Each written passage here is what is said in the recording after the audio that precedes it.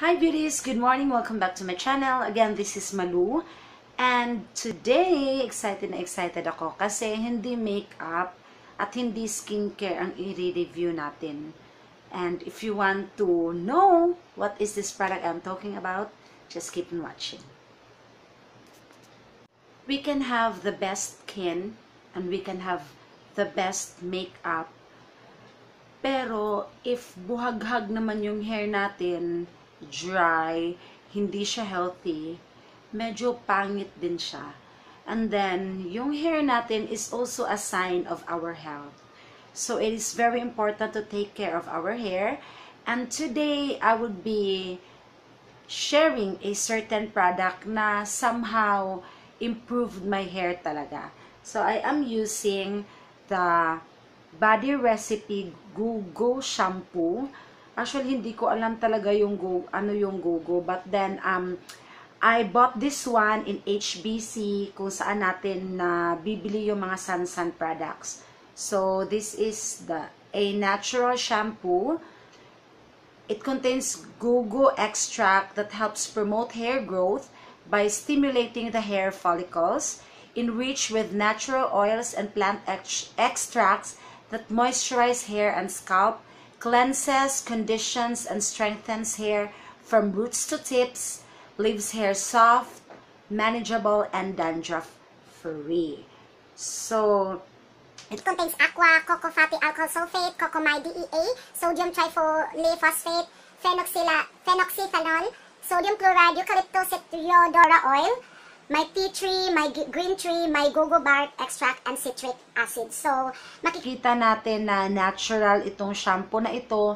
Um, I've been um, looking out for natural shampoos kasi um, aminin na natin the shampoos that we bought sa grocery is yung mga commercial shampoo maganda nga siya kasi mas foamy, mas bubbly siya. Kaya lang, in the long run, it really damages the hair. Kasi, tinatanggal niya yung natural oils natin.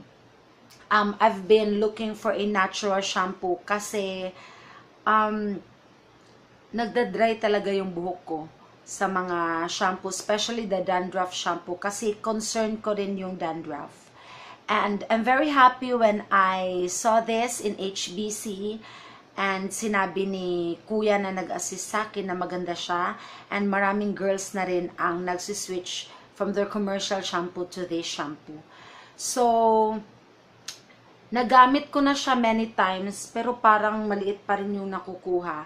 Kasi, um, the proper way of using shampoo is hindi sa whole scalp natin. I mean, sa whole hair natin, whole head natin um, the best way to use the shampoo is only apply it on the scalp and hindi na siya dapat bumaba sa roots natin.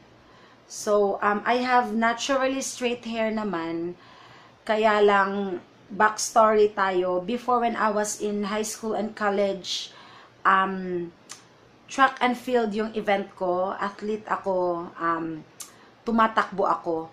So, kung tumatakbo ka sa field, wala naman siyang masisilungan. ba diba? Open field yun usually. So, my hair tends to dry up. As in, very, very, very dry talaga. Na pag titingnan mo yung ends ko, ang rami niyang split ends before. And, talagang masasabi ko na nagpabaya ako sa buhok ko. And then, yun, I had reband I had coloring of the hair. Marami akong treatments which I which I believe is nakasira din ng hair ko. So, um, hindi lang ito ang nagpa-improve ng hair ko. Um, I am yet to make a video of how I thoroughly um, take care of my hair. But then this shampoo really made a difference on my hair, especially sa dandruff noon, if igaganyan ko yung scalp ko, makikita ko na yung mga puti-puti dyan. Tsaka yung mga buong-buong mga white particles dito because of dandruff. And makati siya. And somehow, if I am using a black clothes, pag ginanyan ko, talagang makikita mo yung puti-puti dyan. Um, the shampoo is nice, though hindi siya katulad ng mga commercial shampoo na paglagay mo is mabulang-mabula talaga. Um, but then, it's soothing kasi may green tea at saka tea tree siya, so medyo malamig siya sa scalp. And, hindi rin siya katulad ng ibang shampoo natin na pagkabanlaw mo is as in soft na soft yung hair mo. You really need to use a conditioner after this kasi um, medyo may drying effect siya. Medyo may drying effect siya pero hindi yung dryness na talagang tak, tak, tak, tak, na wala na talaga yung natural oils mo. Um, para siyang clarifying shampoo na if may build up sa scalp mo, nakukuha niya talaga. So, you really need to shampoo your hair properly talaga. Not using your, yung mga kuko natin to scrub or rub our scalp, but to use um, the pads of our fingers to massage our scalp. So, overall, gustong gusto ko siya and gagamitin na gagamitin ko siya. Kasi first, kampante ako, natural siya. And then it really made a difference on my scalp. It really made the difference on the health of my hair as in, um, before I am using any shampoo lang na meron sa bahay, usually head and shoulders, yung palmolive, um, yung mga ganyang shampoo. But then when I switched to this one, um, kaya ko nang hindi mag-shampoo for about 4 days. Um, sa mga hindi nakakaalam, it's not advisable that you shampoo your hair every day.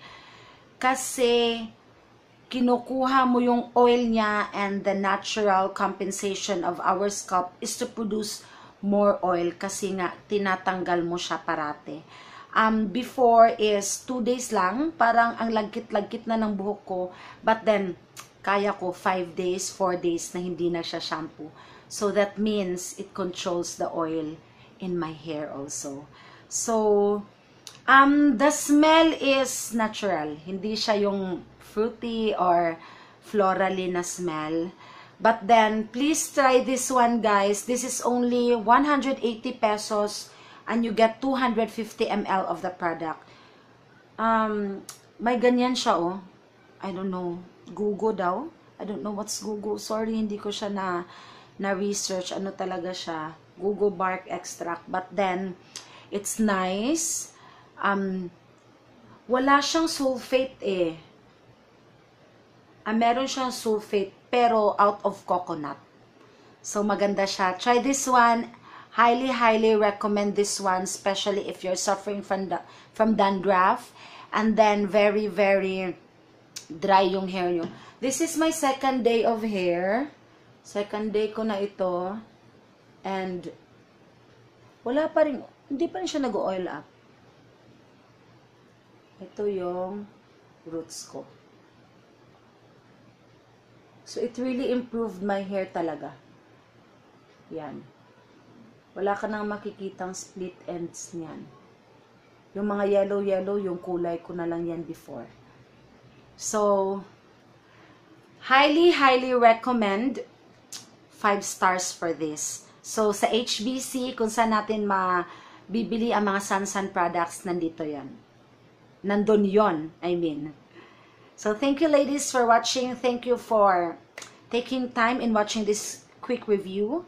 And goodbye. God bless everyone.